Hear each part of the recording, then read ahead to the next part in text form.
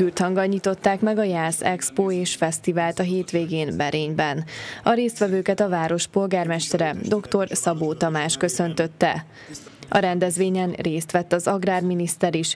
Nagy István beszédében úgy fogalmazott, a jász emberek kitartása és tudása nagy eredményekhez vezetett. Én hajduként hagyd mondjam önöknek azt, hogy az a kitartás, az a kemény küzdeni akarás és tudás, amit önök tudnak, az eredményre vezetett. Oda vezetett, hogy ma büszkén nézhetnek körül, és kereshetik mindazon értékeiket, termékeiket, amit önöknek köszönhető. Mi a sikere ennek a térségnek? Az, hogy nagyon helyesen megértették azt, hogy az egyik igazi értékük a hagyományaikból, a kultúrájukból ered. Idén Cegléd volt a Jász Expo dísz vendége. A város polgármesterét a színpadon köszöntötték. Cegléd város a Jásság fővárosában, Jászverényben 2018. szeptember 7 és 9 között megrendezésre kerülő Jász Expo és Fesztivál díszvendége.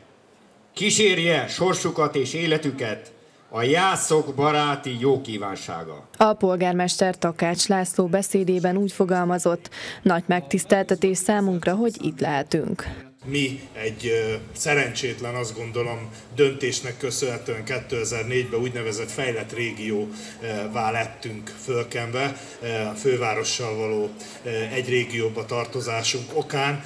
Így például nagyon sok olyan Európai Uniós forráshoz ez idáig, illetve 2020-ig nem fogunk még hozzájutni, amihez önök itt gazdaságfejlesztésbe, infrastruktúra fejlesztésbe hozzájutottak. De hál' Istennek kormányunk működésének Eh, mi is kaptunk most egy olyan kompenzációs lehetőséget, amivel eh, nagyon sok mindent meg tudunk tenni.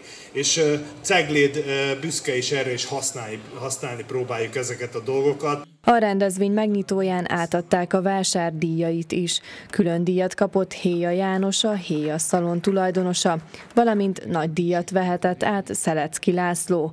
A Commandor Lux Kft. ügyvezetője arról beszélt, miért jó, ha más településeken is megmutathatják magukat a vállalkozók.